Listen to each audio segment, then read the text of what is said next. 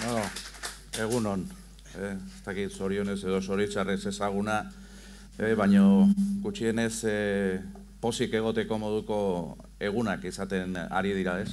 Askotan badugulako sensazioa ero moduan ezote gabiltzan, bakar bakarrik ezote gabiltzan eta ikusirik ba ez gaudela bakarrik munduan jende asko e, dabilela erronka edo arrasto berdinean e, ikusteak ba, poza, poza handia ematen du ez.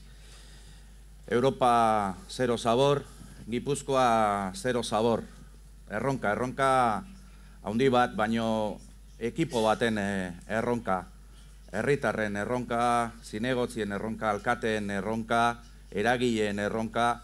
Azkenean, Gipuzkoan, munduan e, beste tokietan bezala, erronka honi aurre egiteko ekipo moduan, lantalde moduan aurre egin behar diogu eta jardunaldi hauek horretarako erabat baliagarriak direla, oso, oso pozgarria izan zen atzoko otzo eguna, divertigarria, baino lasaigarria ere bai. E, ikustea ez gaudela e, erotuta, e, askotan entzuten dugun bezala, ametxetan gabiltzala ez dugu lalurra aukitzen, ba ez, ikusteak ez ez, munduan ere filosofia honetan lanean ari diren asko eta askok egin dituzten urratsak guk hasi edo jarraitu nahi ditugun urratsen pare daudela eta ikustea nola atzo ba munduan e, bide honetan dabiltzanak gure eredu xumea lau herri marabilloso hoietan hasi zen bidean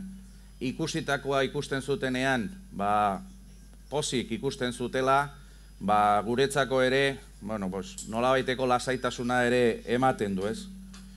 Aldundia garbi du, eta udaletan ere garbi daukazue. Eredua da aldatu behar dena.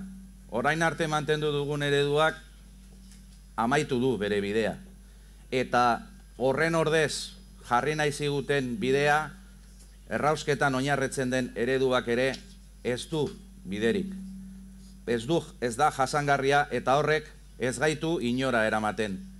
Badaudelako eta eraiki nahi ditugulako bide berri horiek, eredu berri, berri hori eraiki nahi dugulako jarri gara lanean, eta eundaka eta milaka herritar eta zinegotzi eta udalak horretan ari zaretez.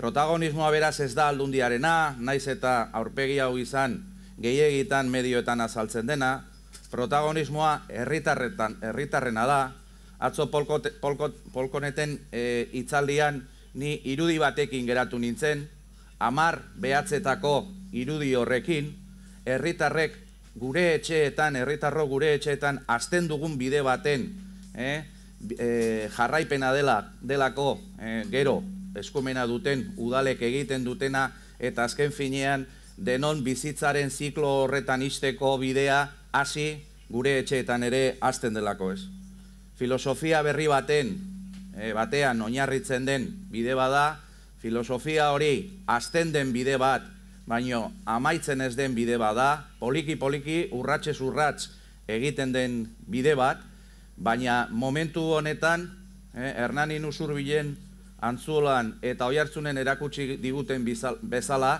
bide horretan urrats kualitatibo eta kuantitatibo handiak emateko modu errezean egin daiteke benetan eh, bilketa sisteman urrats eraginkorrak eta esanguratsuak ematen balin baditugu. Ilabete batetik bestera, egun batetik bestera egiten den urratsa eman beharrean gaude eta gaur ikusiko ditugun eh, eredu horiek erakutsi egingo digute, ze horretarako ere ekarri ditugu. Zuen eskuetan gure beldurrak, herrietan ditugun beldurrak, kezkak, sinadurak, ez dakiz zer, hoiek usatzeko, indarrez kargatzeko, ikustea, munduan hau ez dela berria, ikusteak Italian atezate hogeita sortzi milioi personak egiten dutela entzuteak lasaitasun itzela ematen du. Ez gaude bakarrik, ez gaude erotuta, bide bada, denon artean eraikiko dugun bide bada, eta gaurko eguna, atzoko eguna eta gaurko egunak, ba horretan eh, lagungarri izan, izango delakoan antolatu ditugu hauek, guretzako placer bada, Europako Zero Waste taldeak bere kongresua bertan egitea, placer bat da, guretzat beraien gandik ikasi egingo, e, egongo degulako eta aukera ematen digulako guk hemen egiten, egiten duguna beraien bitartez munduan ere ezaguna izan dadin.